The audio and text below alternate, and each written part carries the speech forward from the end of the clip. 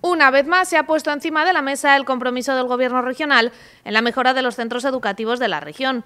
Un compromiso desglosado hoy en Guadalajara por el delegado de la Junta y el delegado de Educación, quienes han puesto en valor unas obras que ya se están realizando. Por lo tanto, estamos ya actuando y vamos a actuar en los próximos meses en un total de 92 centros educativos de la provincia de Guadalajara, 60 centros de educación infantil y 32 de educación secundaria, en un total de 38 municipios en la provincia de Guadalajara. Actuaciones que van desde la climatización, desde la mejora de la accesibilidad, eh, pintura o la construcción de nuevos edificios como puedan ser gimnasios, como puedan ser nuevos aularios y que todas estas obras vienen a dar respuesta a las necesidades de los centros y de su comunidad educativa.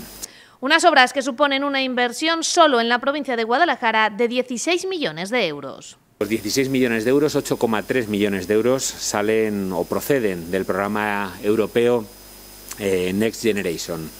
4,7 eh, millones de euros pertenecen al paquete de las ayudas de recuperación para la cohesión y los fondos territoriales de Europa, REAC.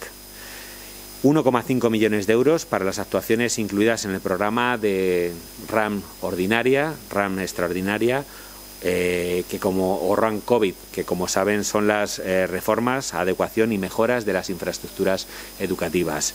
Y 1,5 eh, millones de euros más añadidos a todos estos que son para grandes infraestructuras en la provincia de Guadalajara. Unas cantidades a las que hay que sumar los 156.000 euros que se destinaron para que todo estuviera listo de cara al inicio del curso escolar tras la llegada del COVID. Un ambicioso programa que pretende responder a las necesidades de la propia comunidad educativa.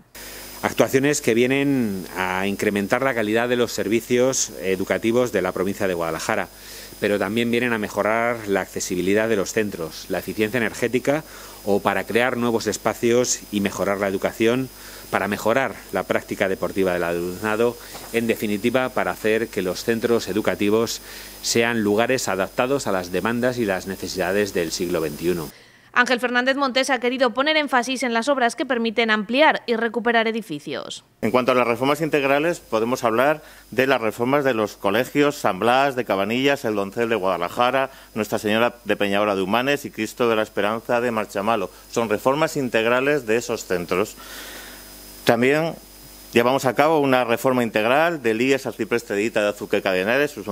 También vamos a recuperar, que es otra parte importante, edificios que tenemos educativos, como es el Colegio Antiguo del Virgen de la Granja de Junquera de Henares, para albergar los estudios de, la familia profesional de imagen y sonido del IES Amor actual. También el Centro Integrado de FP lleva una partida importante, dos millones de euros, y la ampliación del FEI número 3 de Junquera de Henares también eh, se, ha llevado a cabo esa reforma de ese edificio.